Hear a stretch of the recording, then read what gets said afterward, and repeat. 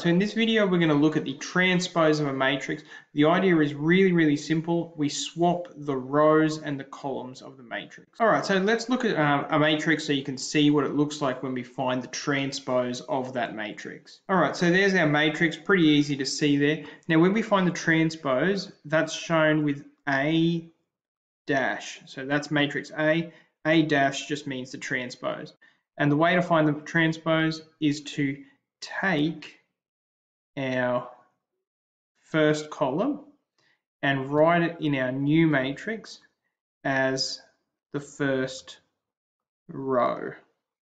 And then take our second column and write it in our new matrix as the second row.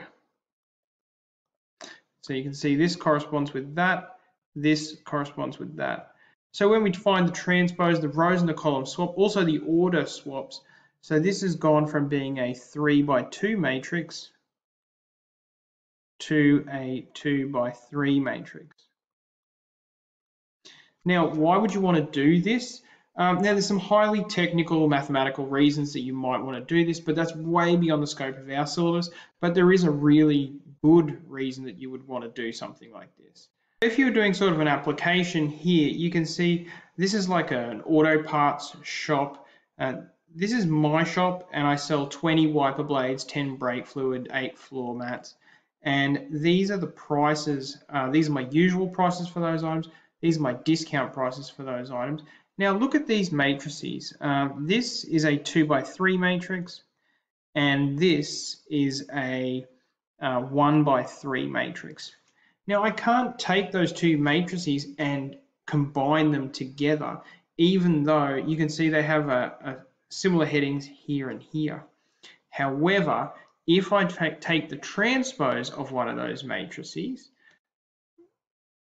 all right, so now if we have a look here, what we have is a 2 by 3 matrix here and a 3 by 1 matrix here. Now, if I multiply those two together,